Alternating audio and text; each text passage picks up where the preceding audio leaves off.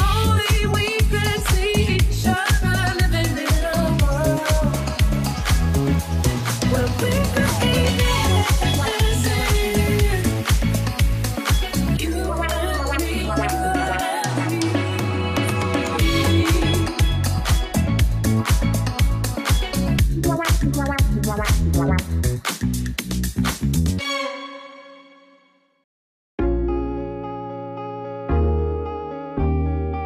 Questo è un luogo ideale per rilassare la mente ed allenare il corpo. Conoscete ormai questo scorcio, è quello della palestra Le Dune Fitness. Noi siamo molto felici di tornare in questo posto perché eh, le palestre, come sapete, sono state eh, tra le attività più penalizzate dal lockdown e anche qui è ricominciata la vita. Eh, vediamo come incontreremo, ritroveremo i nostri bravi istruttori che ci guideranno in un percorso di allenamento, ma oggi chiediamo come le palestre sono sopravvissute a questo difficile periodo e come adesso possono garantire la sicurezza dei frequentatori.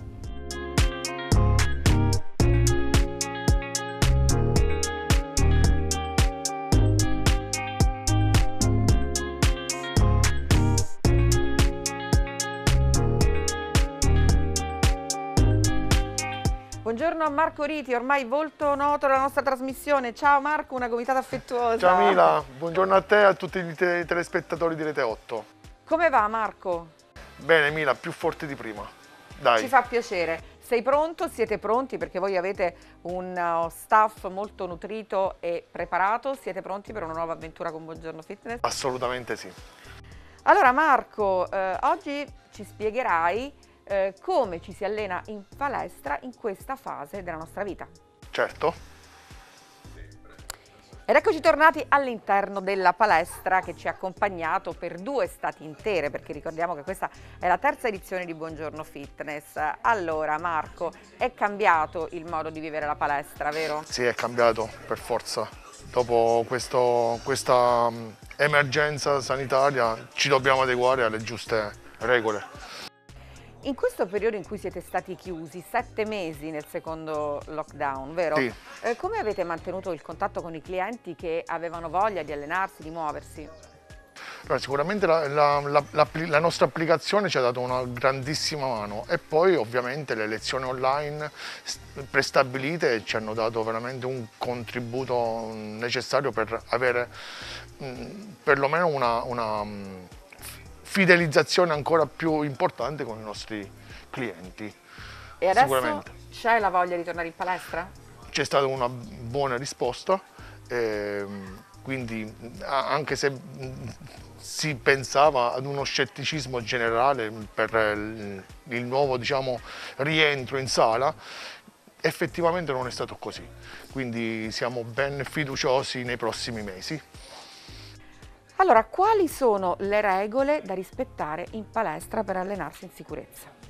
Le regole sono poche ma basilari. Ehm, La prenotazione appunto con la nostra applicazione eh, ci dà un numero eh, max di eh, presenza in sala. Ehm, Quante persone possono allenarsi? 7-8 a ora, ok? Poi eh, ovviamente dobbiamo indossare la mascherina sia all'ingresso che all'interno della sala, ovviamente quando ci sono degli spostamenti ben mirati.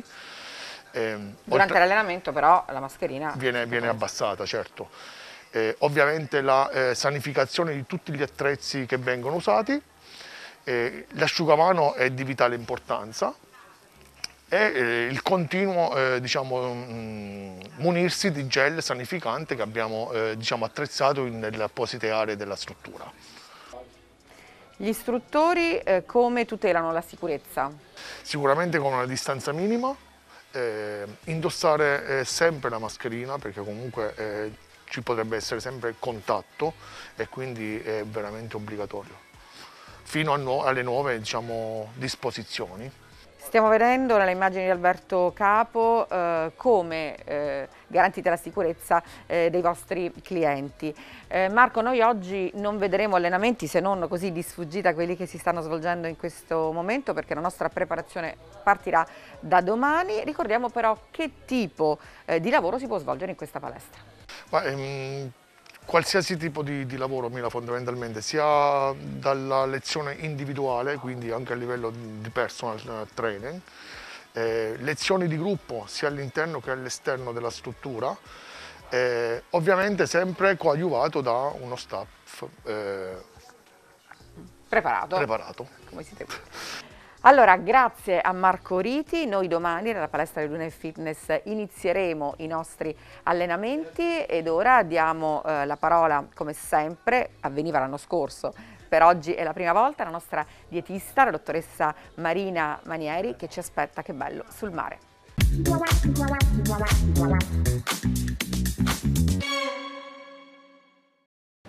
Ed eccoci al Mar del Plata, Silvi Marina, presso il complesso di Dune. Eh, ben ritrovata la dottoressa Marina Manieri, la nostra dietista. Buongiorno dottoressa. Buongiorno Mila, buongiorno a tutti. Dopo quasi un anno siamo felici di trovare questa location. Eh, Marina è in perfetta forma, ma una curiosità, con il lockdown la maggior parte delle persone sono ingrassate? Ebbene sì, sì, è una questione quasi statistica, nel senso che il fatto di stare più tempo in casa ha spinto le persone a cucinare di più, a mangiare di più, anche volendo per noia molte volte e quindi insomma molte persone sono ingrassate.